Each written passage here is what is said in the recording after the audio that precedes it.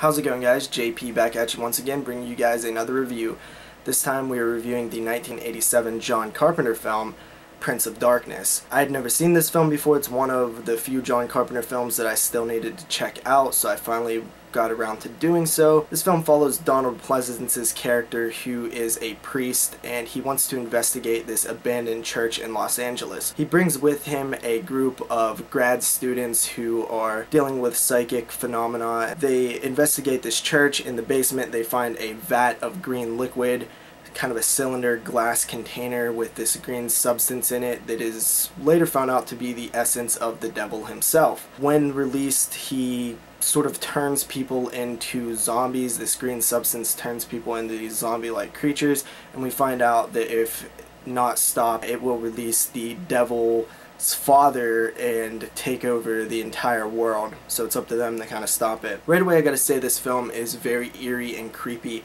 I love the setting, the location in and around the church. Definitely has this claustrophobic, condensed, contained vibe to it where you have these uh, large group of characters stuck in this building and they're turning into these zombie-like creatures.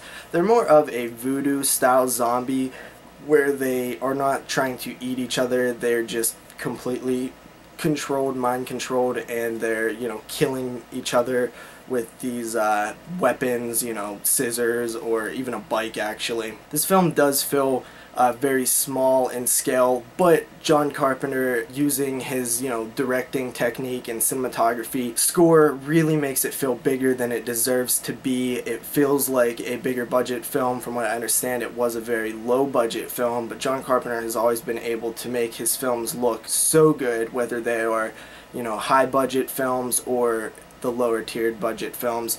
So props to John Carpenter. The film looks and sounds great. A lot of great wide shots. Carpenter is a master at, at, at, filmmaking and you know it definitely shows in Prince of Darkness.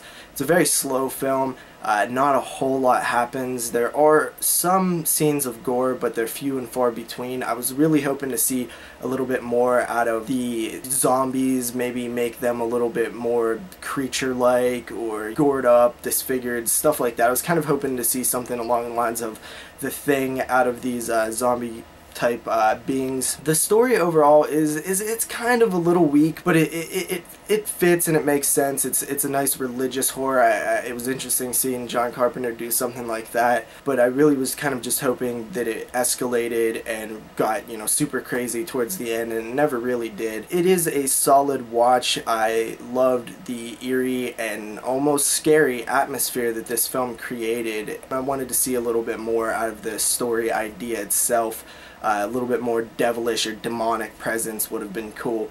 So John Carpenter's Prince of Darkness, I give a 6.5 out of 10. It's a solid watch. Check it out.